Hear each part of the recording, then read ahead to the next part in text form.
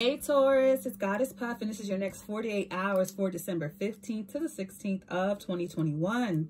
All right, let's get started with an oracle card message for Taurus. Next 48 hours for Taurus spirit. What does Taurus need to know for December 15th to the 16th of 2021 for Taurus?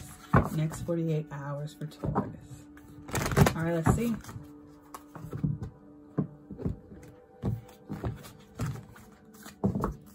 Right, we have 30, castle. It's time for healing, not war. We have 40, morning, the world awaits you. We have um, 37, a 10 or a 1, gray endings are inevitable. And overall, we have 18, which is a 9, tree, let them go. Yeah, you're ending a relationship with someone. I mean, the castle is time for healing, not war. So you're not meant to argue or fight for them or for this or with them. It's time to, endings are inevitable. Let it go. Let them go. Yep. I feel like you'll be better for it because all three of these cards right here about letting someone go, not fighting for anything anymore, not letting it continue, just putting it to rest, like the death card or the world card. But this card right here is like morning the world awaits you. This is like the Fool card. You're happy that it's over. When it's done and you let it go, it's like a big relief. So let's get into the tarot for Taurus next 48 hours.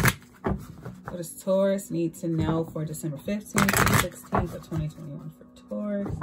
Next 48 for Taurus. All right, let's see.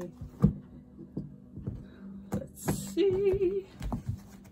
All right, we have the High Priestess, Pisces. You could be dealing with a Pisces.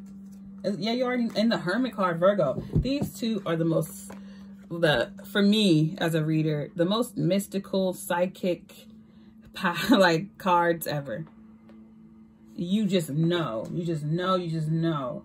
You're not new to this, okay? You're true to this. You know this relationship, this story, this person in front to back, like the back of your hand. Then we got the Hierophant. There you are, Taurus. You got the High Priest, the Hierophant, and the Hermit. Oh, and you know, I don't know if H's matter. That's the first time I picked up on that. But it's like they all begin with an H. The High Priestess, the Hermit, the Hierophant. Then we have the Seven of Swords. Yes, this is a lot of secrecy. I mean, they're they all are they're all into mysticism and they keep the secrets of the underworld or spirituality or you know, they keep the secrets. The hermit, especially the high priestess, yeah, they all keep their mouth quiet about what they know. These three people, these three figures know a whole lot about the underworld or the other side, but they keep it to themselves. Overall energy is the two of pentacles. Yep, juggling. And it's and I feel like yeah, there's a lot of secrets between you and this person or this company or place or thing, lying, cheating, stealing. A lot of secrets were kept over on energy. The two of pentacles is juggling. Eight of wands, tower. Yep, a death card, Scorpio. All these secrets may have come out at once. It's like you know now. This person was keeping a lot of secrets and now you know all of them. There was a lot of secrets between the two of you. A Virgo may have told you or another Taurus or a Pisces. But all three of these cards, are, I mean, look up, if you don't know anything about tarot, look up the High Priestess, the Hermit, and the Hierophant. These are all gatekeepers to like um, spirituality and the esoteric. So that's like deeper knowledge, secrets. And then HHH is like, if you put it, I know I'm being extra, like I'm reaching right now, but it's like shh or hush. It's like secrets, major secrets coming out. And it's like, you know all of them. If you didn't know anything before, you're about to know all of them in the next 48 hours. You're about, all the secrets are about to hit you at once. Clarify this for Taurus. Clarify this message for Taurus. There's not going to be anything you don't know about this connection in the next 48. You're going to know everything. And then I'm shuffling. I get the high, the Hermit. Clarify this for Taurus. I have one more shuffle because y'all need, oh, this, that's a lot that is a lot of information. It's like, again, you know this situation, this person, front to back, side to side. You you know everything about this situation in the next 48. Clarifying the high priest is the eight of cups. You end up walking away. Or there's a water sign, three of pentacles. Yep, you walk away from someone that you work really well with, because there's too many secrets or something like that. Clarifying the Hierophant is, I mean, sorry, clarifying the Hermit is the Hierophant here again. So you could be dealing with another Taurus.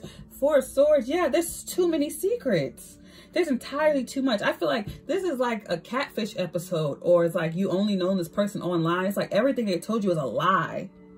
everything you knew was a lie. But you knew this, but you also kept a lot of secrets yourself. You both kept a lot of secrets from each other. Maybe you were both married or both in a relationship or you both, it's like, you both had a lot of secrets. Clarifying the Hierophant is the Six of Pentacles and the tennis. So it's just like you're both cia agents or double agents. It's like you had to keep these secrets. It's not like you wanted to hurt each other. Clarifying the hierophant the ten of swords yes. So it could have been a marriage or a long time commitment a, a long time hired commitment full of backstabbing and betrayal just pain. This this cycle with this person. It's like you had a strong connection uh, spiritually mentally emotionally. It's like a karmic relationship. It's like you have such a strong connection but there's so many secrets at the same time, just as strongly as you feel about each other, is just as much as you hide from each other. It's like you're a great team, the high priestess and the hierophant, but it's just so much you don't know about each other. It's insane. And you lie to each other a lot. Clarifying the Seven of Swords is the Fool card, Aquarius. Yeah, new beginning. Two of Swords. Overall, she's the Queen of Wands, Fire, Aries, Leo, Sagittarius. Yep. And it's like, and I'm not accusing you of anything. I just feel like this reading is for people in particular. You both keep a lot of secrets, both of you. Someone, um, I feel like you or a Pisces, I feel like this is you walking away from this relationship. It's a really good friendship. You guys work well together, but it's because there's so much secrecy. You don't want to do it anymore. This Hermit, this Virgo, or this other Taurus, they want a higher commitment, but you don't want it. Someone here does not want to commit. It's like you're both on the same page, but it's like it's always something. It's always something. Either you're ready to commit and they're not, or vice versa. You never meet each other right there. It's like you connect so well. There's so much chemistry. Everything's just perfect. But whenever it's time to commit, it's like no one's actually there. You're on two different pages. Either you're ready and they're not, or vice versa. And with the Hierophant, the Taurus, clarified by the Six of Pentacles, like you want equal give and take, but someone's not doing that. So someone's a habitual liar cheater. And the Seven of Swords clarified by the, you want a new beginning, a clean slate, or they do. It's like you're, one of you is willing to put the past behind and keep everything open, but the other one does not want to. The other one wants to keep their secrets. So there will not be a new beginning until um, someone's willing to put everything behind. And I feel like it's like the opposite of that as well. It's like all the secrets come out. The tennis, I mean, the seven of swords, lying, cheating, stealing, clarified by the Fool card, new beginning, and the two of swords.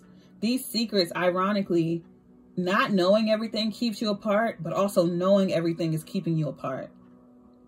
Because like when you find out the truth, you won't even want them.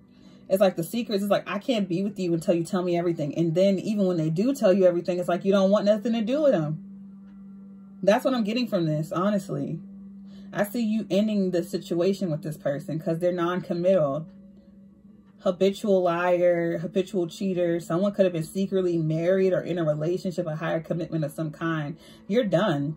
Eight of Cups, Four of Swords, Two of Swords. You walk away, you block them, you're not moving forward. Ten of Swords, you're done with them. I see you done with this person. Again, it could be another Taurus, it could be a Pisces, or it could be a Virgo, it could be any sign. You're done with this person. I'm also seeing fire, Aries, Leo, Sagittarius. Regardless, you're done just too many secrets. I'm, and also this person could work from the government or CIA or something where they have to keep secrets, some type of intelligence. But there's just a whole fuck ton of secrecy here with the Hierophant here twice, the High Priestess and the Hermit and the Seven of Swords. Also the Fool card Aquarius, you could be dealing with an Aquarius. But I'm going to leave it there. If this reading resonated, don't forget to give me a like, comment, subscribe, or share. If you're interested in booking a personal reading with me, all of my information is in the description box below. If you would like to check out my sister's beautiful crystal jewelry, a link for that is below as well. I send you peace, blessings, and love, Taurus. Namaste.